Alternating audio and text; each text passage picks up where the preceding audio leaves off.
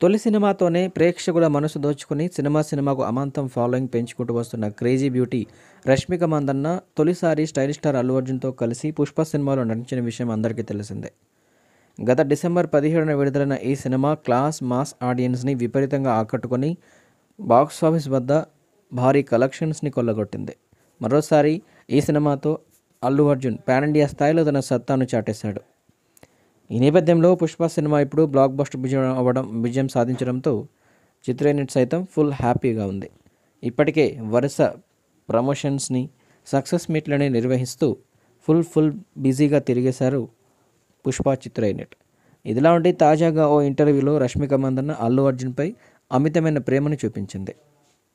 అంతేకాదు ఏకంగా నా పుష్పరాజ్ అంటూ బన్నీని ఓన్ చేసేసుకుంది. పుష్పలో అల్లు అర్జున్ పుష్పరాజుగా చించేశారని ఆయనకు నేషనల్ అవార్డుతో పాటు మిగిలిన ప్రతి అవార్డు రాకపోతే ఫస్ట్ హట్ అయితే తానేనంటూ ఓపెన్ కామెంట్ చేసింది. అంతేకాకుండా అల్లు అర్జున్ గారి కోసం ఏం చేయడానిక సిద్ధమంటూ రష్మిక మందన సోషల్ మీడియా వేదికగా చేసిన కామెంట్స్ ఎంతో వైరల్గా మారుతోంది. ఇక అంతేకాకుండా పుష్ప పార్ట్ టూ కోసం అందరిలాగే తాను కూడా ఎంతో ఎగ్జైటింగ్గా వెయిట్ చేస్తున్నానని ఆ ఇంటర్వ్యూలో చెప్పింది రష్మిక.